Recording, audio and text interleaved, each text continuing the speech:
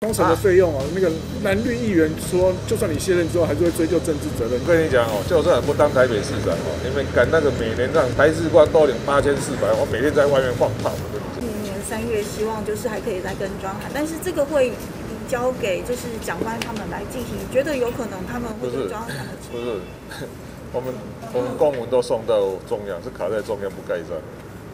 所以这这也是要被一个被卡的案例啊，所以我要觉得这样的哦。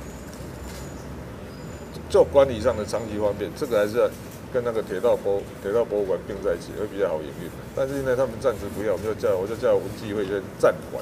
因为赖清德他今天去登记选党主席，那你认为民党就真的二零二四定一尊了吗？我怎么会晓得？这个我又不是民进党的。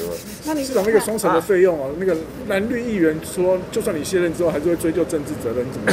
我跟你讲哦，就算不当台北市长哦，你们赶那个每年让。台式罐多领八千四百，我每天在外面放炮，我跟你讲。